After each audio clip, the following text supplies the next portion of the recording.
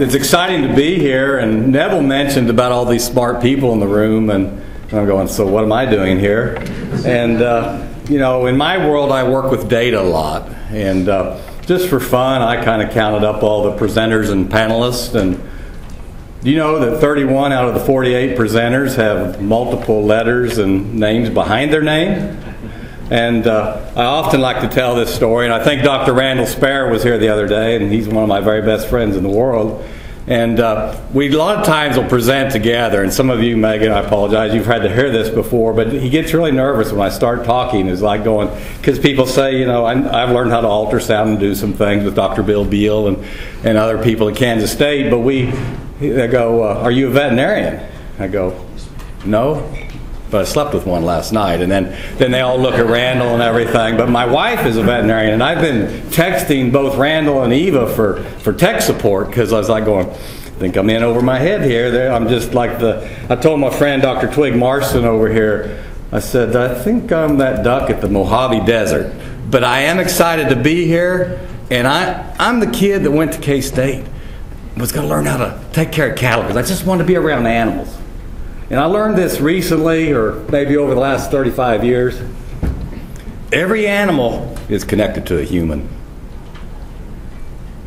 And I think what we have to work on when we look at this and we collaborate, and, and you look on your, your, uh, your folders that came here, it's got the beef checkoff on the front of it. That's outstanding. That's awesome. But a lot of the people from my producer group, Greg, they're even debating whether that should be in place we've got to get together, we've got to talk, and we've got to collaborate. So I'm going to visit with you briefly about a few things uh, that we try to do, but it's about people. It's about having a safe product. It's about getting together, and you know, I, I appreciate the Tyson folks so much on how they talked about you know, transparency and collaboration and, and just working together for a safe product. And so I am from a ranch. Uh, we've grown that ranch through the years. Uh, we sell a lot of cattle. We have a lot of sales. But beef is our business, but people is our passion. So we work every day to build relationships and to make sure that we're providing a safe product. And can we get better? Can we learn from smart people like you? Absolutely. That's what we're here for, is to learn. So when we look at this and we go about it and we, we try to work and, and work in our area, and we'll talk a little bit about some things that have happened through the years, but every day we're trying to do what we can do to have a safer beef product. And to do that, um, we got to look at the history a little bit. My family, my granddad was born in dugout, roughly three miles from where I live today. And for those of you not from Kansas, that was part of the the the Homestead Act that Abraham Lincoln enacted. And if you moved out to that God-forsaken country and you lived there for seven years, you could have that 160 acres. Okay? And so if you look at that picture on the left on 1898, that's the exact same location that was taken with my family in the year 2000. Of course, some of you, certainly Twig knew him, but Henry Gardiner was always, Greg knew him. You know, he always was curious. And I think that's what we have to be in this business, is curious about how we can get better. And, you know, he figured out that that was the exact same location on the ranch as where that cowboy was sitting there. My mom and my sister-in-law are sitting there. But that was 1,500 steers in 1898 that were there. But we are very proud of what we were able to do with, with some knowledge and some information for better grazing management that's better for the cattle, better for the land, and better for the people. So when we look at this and we look about how we're going to go about it, there's my granddad that was born in that hole in the ground in, in 1888 actually. Uh, and we look at where my dad grew up for the first seven years until they lost that place in the Depression and moved back in with the grandparents. Uh, but it's a, it's a passion for cattle, a passion for people. And how can we make this better? And so when we talk about antibiotics and resistance and, and all these things, I mean, oftentimes, uh, I, don't remember which panelist said it, but it was said very well. We in American agriculture, we don't need to apologize. We need to actually say we do a pretty good job. Henry had a saying that said, uh, we can't uh, fix the windmill because we're too busy hauling water.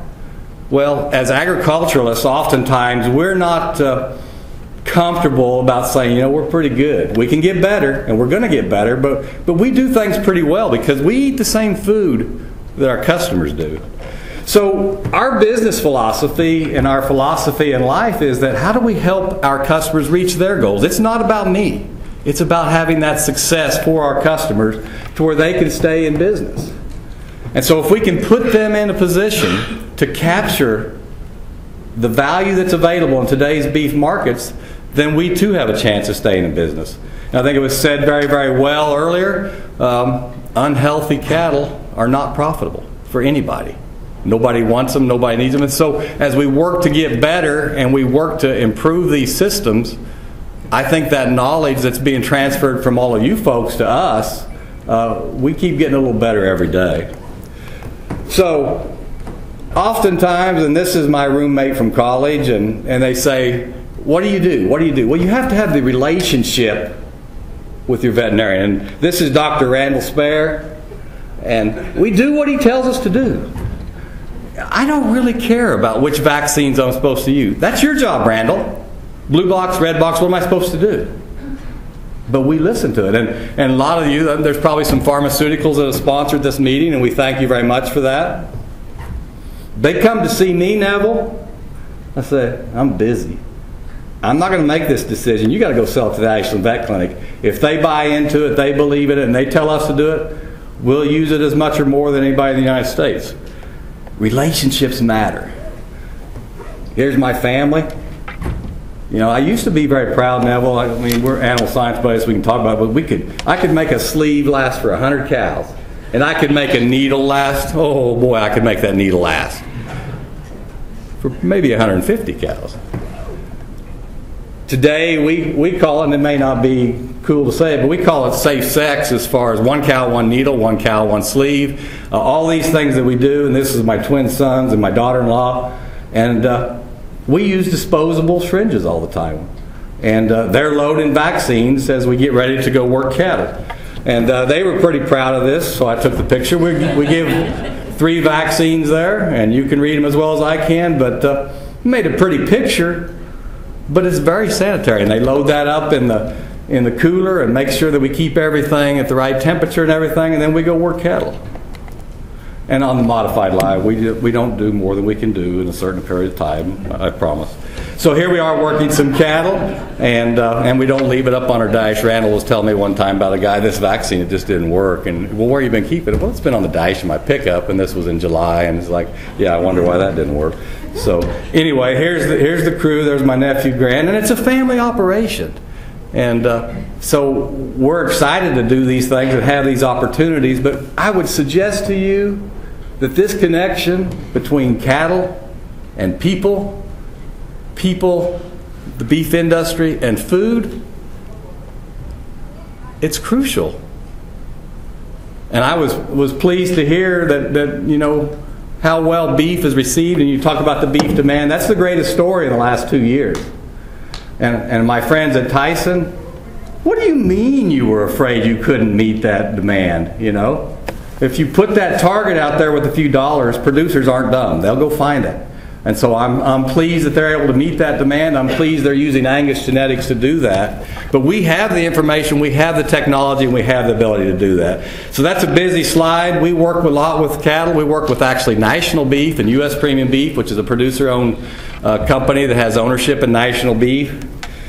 And, you know, I often hear, you know, these cattle, these cattle, they all look alike. What's the differences? Well, we track this. This is our own cattle and customer cattle and cattle that we have worked with. And the bottom line there is on 5,250 head of cattle, you know, weighing 1387 at harvest, uh, 98% choice or better. You know, the national average for prime when we started working at National Beef, Greg, was eh, 1%, 2%, then you get to 3%, 4%. Last week, I believe I heard where prime was at 9%.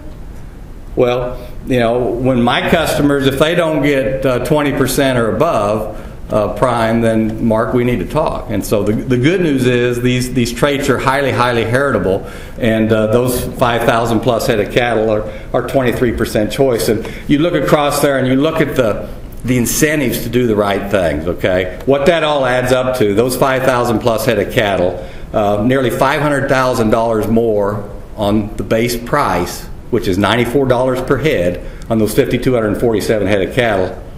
Not only did they have the genetics to do that, they were healthy, they accomplished all those things, and in general, that would be a 15 month age uh, calf in most parts. And they had the genetics to do it, but they couldn't do it if they weren't healthy. The ones that, that are in that empty shipping pen, if there was any that in this empty sick pen, they're not going to have this kind of results.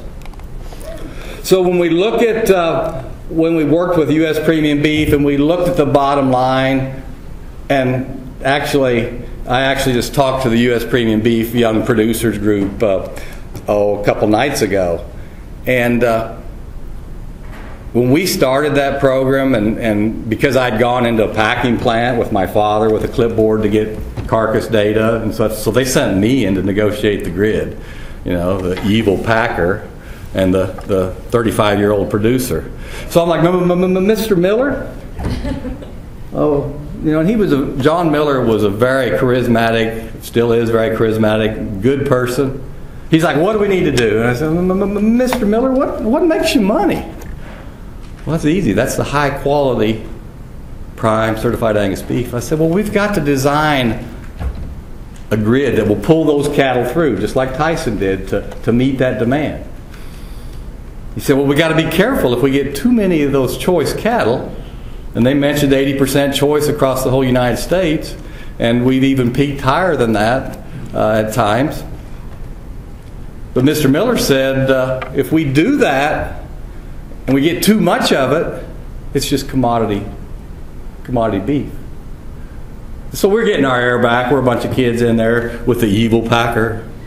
I said, well, then you got to quit being a meathead and we've got to build demand. And how do you build demand? You build demand with trust, with transparency, with information, and with a better product.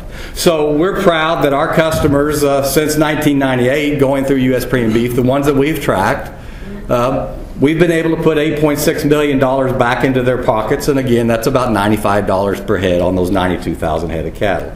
So again, healthy cattle, predictable cattle, make for profitable cattle, but none of this works if nobody wants to buy our product. You know, often in the beef industry, we've had this motto beef, it's what's for dinner.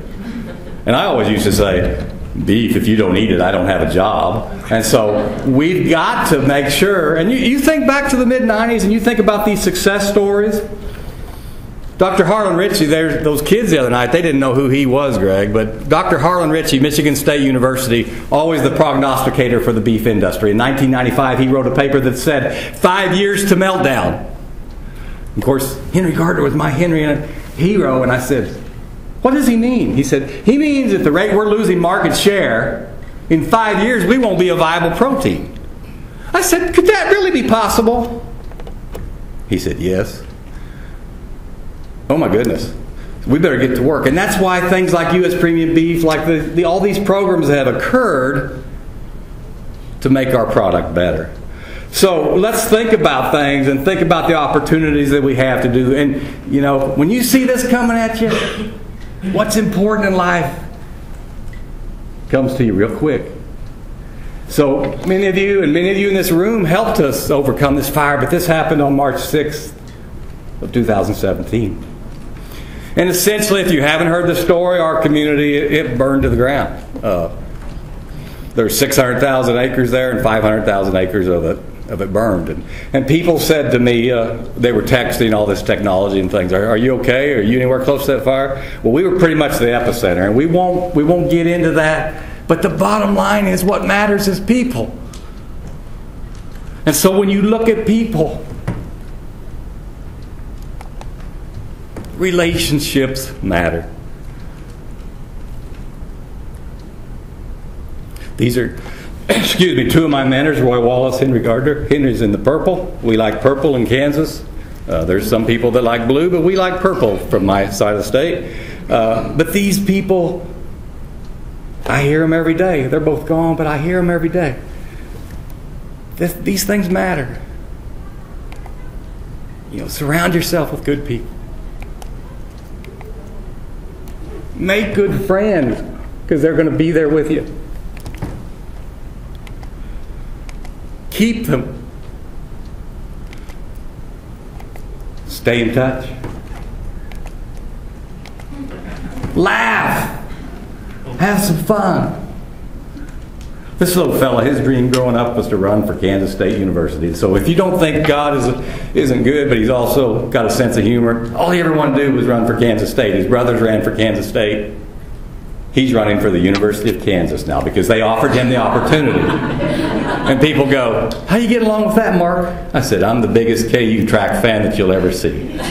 And I love when we beat the purple in track. Laugh, have fun, enjoy this journey. Don't stop teaching.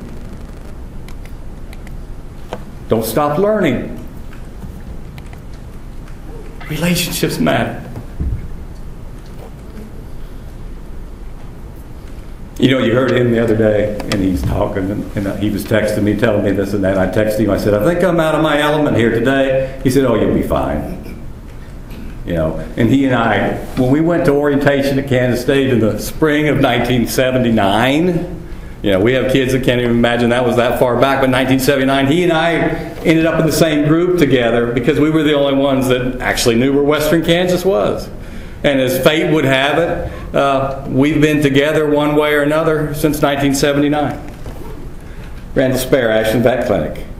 You know, I tell students, I tell young people, if you don't have a good relationship with your financial, with your bank, I mean, this is a part of our management team. This is Kendall Kay of the Stockgrower State Bank.